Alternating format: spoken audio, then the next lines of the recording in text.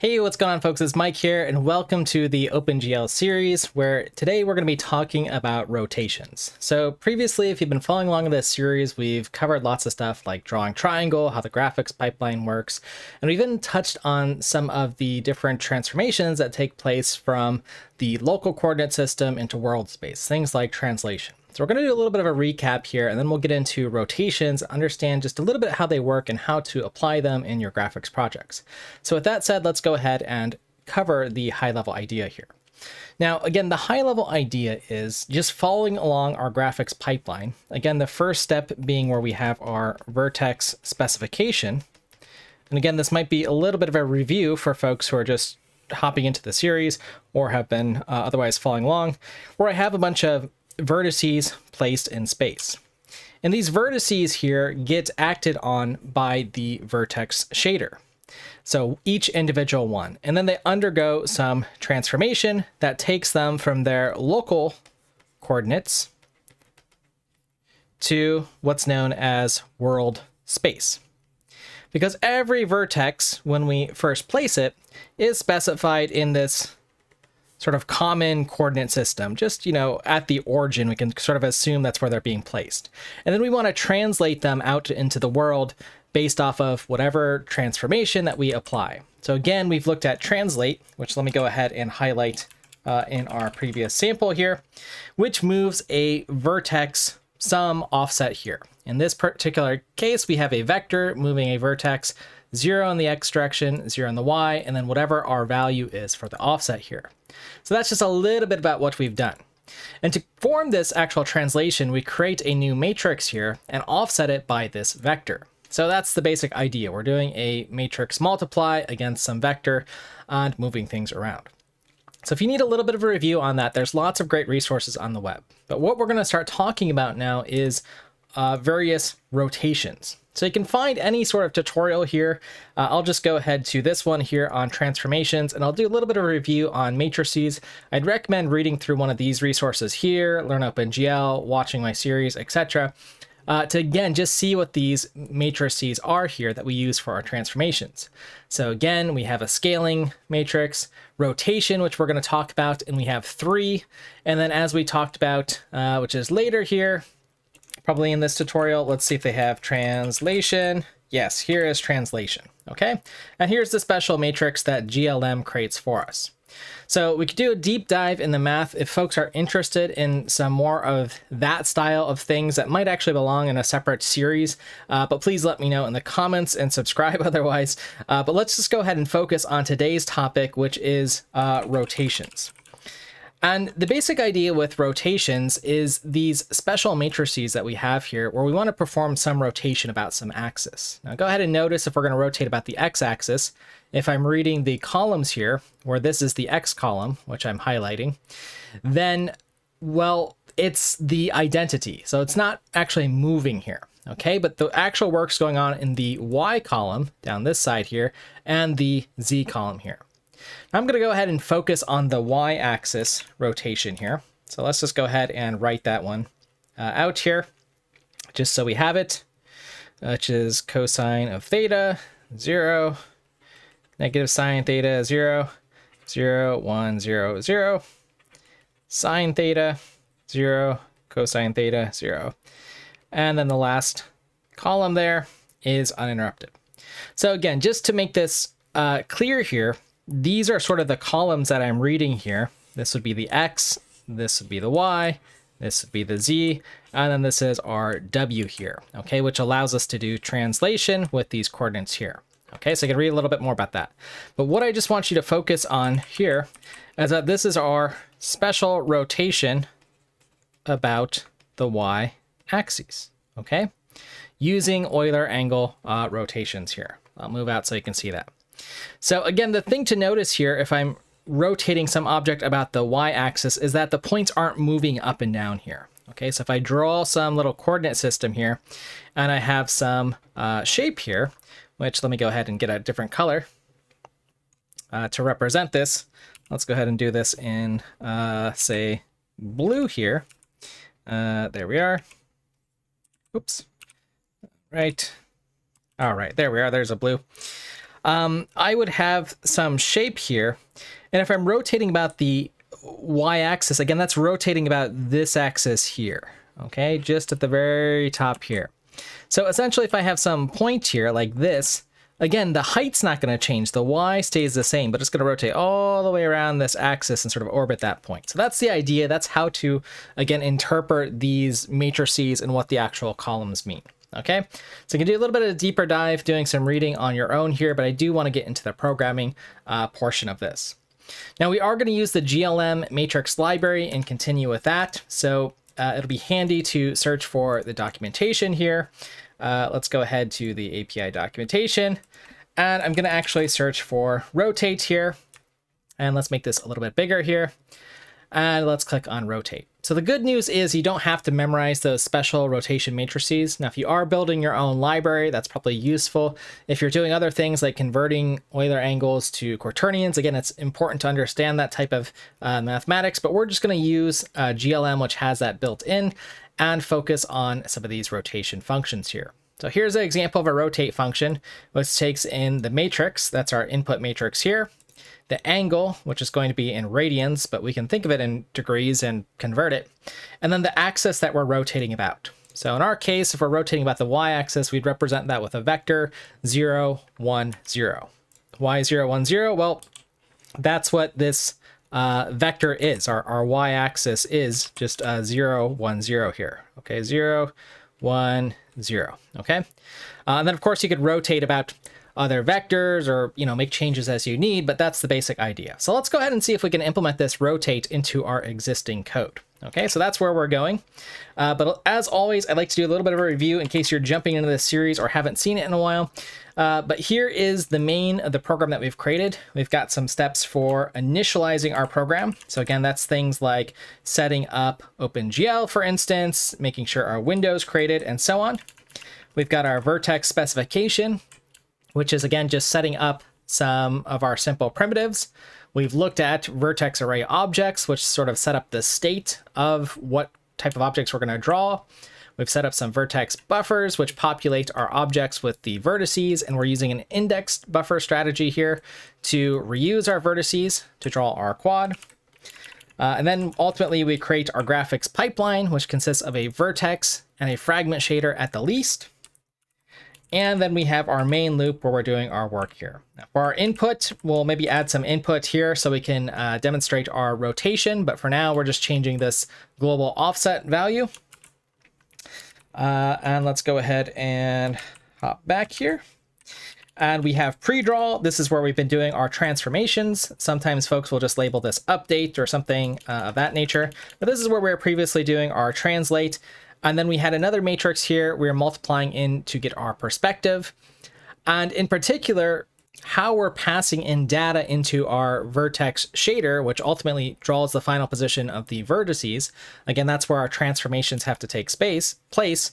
Um, because again, we have our vertices that we specify, but in our vertex shader, they undergo these transformations. And we've already looked at the perspective uh, transformation so that we can draw a proper uh, square. Uh, so that's what's going on there. Here's our projection matrix. Again, here it is uh, set up here. Uh, and I've already set up a model uh, matrix here. And then finally, uh, we have our draw, which we're not going to really need to play with today, but that's basically just taking all of our data. And as soon as we issue the GL draw all elements call, that runs our graphics pipeline. So it runs all of our vertices that are currently bound in our vertex buffer object uh, through our graphics pipeline, performing all of the transformations as needed. Okay, so with that review out of the way, let's go ahead and start looking at implementing a rotation here. Uh, so what we're going to go ahead and do is create another matrix here. And I'm just going to call this rotate uh, and do GLM uh, rotate here. Uh, and then the, the matrix that we want to rotate about here, uh, well, when we were doing our translation, we were just doing this according to the identity and then storing it in translate. So let's kind of uh, regroup things here. So what I want to actually do instead of translate, I want this to be our model uh, matrix here. Okay, so basically it's going to perform a series of maybe translations, rotations, etc. Uh, that take place here. Okay, so this is our initial translate that we're doing here uh, to set up our uh, scene. Our rotation here will apply to our model matrix. And again, we can just store this, uh, update our model here. Uh, that's how I'll do it. I'll keep it indented like this. Uh, and then the things that we needed were our um, degree that we're going to rotate about. So we might just say like 45 degrees, for instance. Uh, and again, this has to be in radians. Uh, so GLM radians will do the trick there. And the axis that we want to rotate about. So let's go ahead and rotate about the uh, y-axis, so 1.0, 1.0f. And let's go ahead and take a look at that. Now I've updated the variable uh, translate, so let's make sure that I uh, pass in the correct matrix here. So that'll be the model matrix here. And I think that should do the trick for us. Uh, let's go ahead and compile, see if we made any silly mistakes. No mistakes. Uh, and just a quick review of our shaders as well, uh, which I think we should do. Uh, let's go ahead and look at our shaders, looking at the vertex shader, again, which is taking in position and colors. We've got our model matrix, which will hold our transformations and the projection. And again, we're doing our, whatever our position of our vertex is, that's coming in from the vertex specification. So again, positions just up here, our vertices, the X, Y, and Z positions in a buffer. The model matrix, that's our translation or series of things that we perform on our CPU and pass in here. And then lastly, the projection. So again, we're reading right to left as far as the sort of order that the uh, transformations are applied. Okay, so just something to keep in mind there. Uh, and I'll go ahead and just, let's just go ahead and briefly show you the fragment shader. Nothing's really changing here. We're just applying the colors. Okay, so we're not doing anything interesting quite yet. Uh, so again, this compiles successfully here. Uh, let me move out of the way so you can see the full compile command if you're on Linux. Otherwise, watch the other videos on my series for Mac uh, if you need. And let's go ahead and run this program here. Okay, now if I go ahead and uh, update this, I've got to push back here you'll, you'll ultimately see that our shape is moving somewhere. It's in front of the screen here. And it is rotated 45 degrees here. Uh, so that's pretty cool. Uh, in fact, that was quite easy here. So let's add a little bit more to it here. So again, up and down is just uh, modifying our translation, but let's use the left and the right key so that we can rotate about some axis here, okay? So what I'm gonna go ahead and do here is just modify. And again, I'm just creating a global variable here uh, not because it's the best thing in the world to do, but because it's the simplest. So uh, again, G for global. Again, you'd probably want to encapsulate these in some sort of struct or per object. That would be a common thing to do. Uh, I'm just going to call this rotate. We're going to start it off at zero here.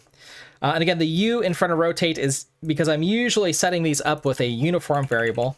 Uh, so I'm just trying to be disciplined about that. Uh, and our rotation here we're going to actually just change this to the global variable underscore u rotate. Uh, and again, being disciplined with the naming of your variables helps your uh, IntelliSense and these types of things be a little bit easier. So uh, update our model uh, matrix by applying a rotation uh, after our translation. Okay, uh, so let's go ahead and leave that as is. Uh, and now let's go ahead and we need to go into our input. So again, that's going to be from our main loop. So it's going to travel into there, add into our input. And let's update some of our uh, keys here. So the scan code for uh, left, let's go ahead and update the rotates here to do minus equal 0 0.01 and we'll go ahead and update.